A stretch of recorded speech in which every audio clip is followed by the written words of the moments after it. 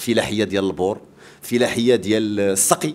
آه، أنشطة صناعية الآن متطورة في قطب السيارات حدا ما بين سيدي آه، حيا ديال آه، الغرب وقنيطرة.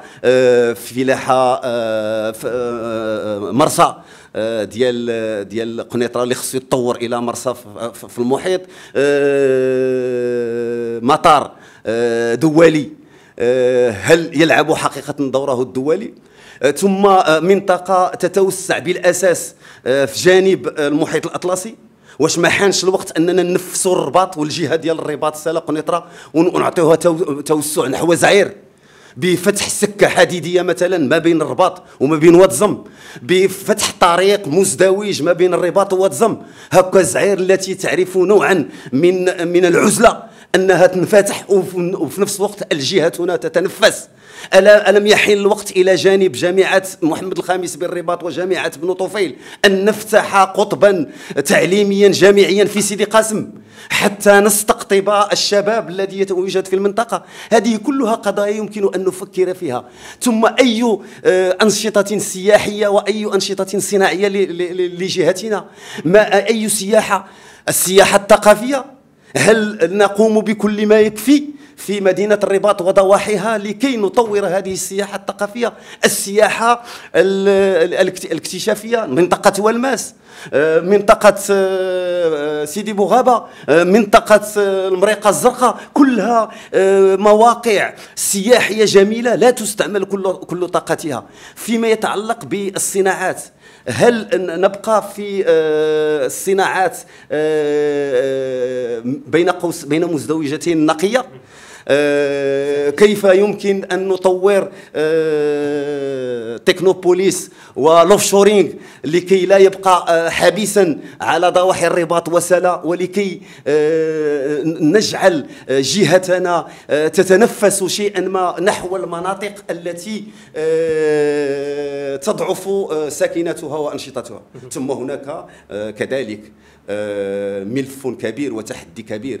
هو كيف يمكن أن نحول المدن الهامشية التي تأسست حول الرباط وقنيطرة مثل سيدي حيا دزعير مثل عين عودة مثل تمسنا مثل بوقنادل مثل سيد الطيبي. كيف نحولها إلى مدن حقيقية؟ لأنها الآن عبارة عن أماكن للنوم. وأغلبية الساكنين فيها يشتغلون في أماكن أخرى في حين أن من مواصفة المدينة العصرية هي أن تشغل على الأقل ما بين 40 إلى 50% من ساكنتها كل هذه قضايا من شأنها أن تناقش خلال الجهة وسيكون من الدماغوجية وسيكون من الشعبوية بل وسيكون من الكذب والضحك على دقون المواطنين والمواطنات أن ندخل الآن ونحن لا نعرف حتى التمظهرات لهذه الجهة ونقول لهم سنقوم بهذا ما سنقوم بهذا. فلا تهربوا من سؤالكم بل أجيب جواب المعقول.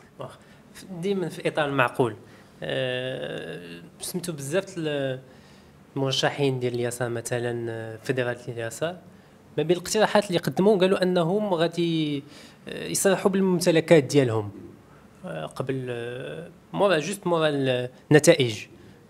مستعدين أنتم تقوموا بهذه العملية تصريح بالممتلكات أنا غنتسنى تنتخب. أنا نصرح لك دابا بالممتلكات ديالي. أنا عندي دار أنا والمراه نص نص فيها النص ديالها باقي كريدي. هادشي اللي عندي. صافي. أنا غنبقى ندير لك تصريحات هي من دابا. زيد شنو كي كتشوفوا الحظوظ ديالكم في الفوز من الفوز في هذه الانتخابات؟ بالاخص من أن تنشوفوا أنه les moyens mobilisés par les autres, vos concurrents مثلا عدد المرشحين في البام 18000 18000 في الجماعه في الانتخابات الجماعية والجهوية en général alors عدد المرشحين ديالكم أنتم أقل. حتى المواد حتى ماديا آه، عندهم أكثر عندهم les ressources أكثر كيفاش كتشوفوا في ظل هذه المعطيات؟ الحظوظ ديالكم في النجاح في هذه الانتخابات؟ اولا بكل صدق حنا اللي كيهمنا في هذه الانتخابات هو المغرب ينجح. هو تكون انتخابات شفافة.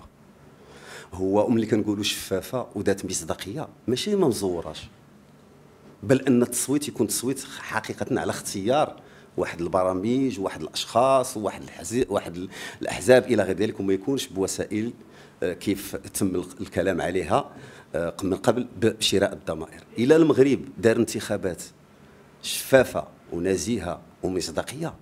هذاك هو الانتصار الأول. طبيعة الحال حنا كحزب سياسي نسعى إلى أن نتقدم.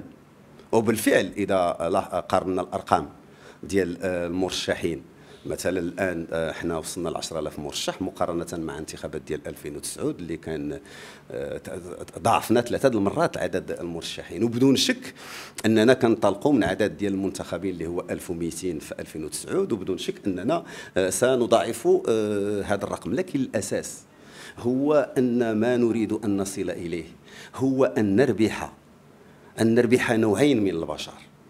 أن نربح رجال ونساء التحقوا بنا. وأن يعملوا معنا بكل صدق لمصلحة أحيائهم ومدنهم ووطنهم. وأن نربح كذلك مواطنين صوتوا علينا بقناعة سواء اقتناعا بمرشحين ومرشحاتنا أو اقتناعا بحزبنا أو اقتناعا بممارسة آه، بعض أعضائنا وقيادينا. وهاد المواطنين اللي غادي نربحوهم لا نربحهم فقط كأصوات بل نربحهم غدا للتعبئة للدفاع عن المشروع الديمقراطي الحداثي الذي نريد أن نكرسه في هذه البلاد والذي لا يجب فقط أن نعمل من أجله لكسب آه، المتعاطفين معه بل كذلك لمواجهة ومحاربة النكوسيين الذين يريدون أن يكسر. فلا يمكن أن نحاربهم إلا بالاعتماد على مواطنين ومواطنات واعيات. والمواطنين والمواطنات الواعيات نكسبهم خلال الحملة الانتخابية. فنحن نتوجه إلى عقول المواطنين والمواطنات ونقول لهم بأن الديمقراطية هي الضمان الأساسي لاستقرار البلاد ولكي لا ندخل في القلاقل لأن إذا أصبحت الديمقراطية ميكانيزما آه، شفافا ذو مصداقية فالمواطن الساخط سيعبر عن سخطه بصوته. أما إذا رأى المواطن والمواطنة أن صوته لا يؤدي إلى نتيجة وإلى تغيير فلا قدر الله يكون الانفجار. ونحن نعمل وعملنا على أن نضمن الاستقرار لبلادنا ولعل الشيء الأساسي اللي خصنا نحافظوا عليه في بلادنا. بحال مو دعويناتنا كي تيقولوا المغاربة والمغربيات هو الاستقرار البلاد لأن الاستقرار هو كنز وكنز لا ثمن له. أما ما ما غير ذلك فليتنافس المتنافسون. ولهذا نوجه نداء إلى كل القوى السياسية إلى كل المرشحين والمرشحات.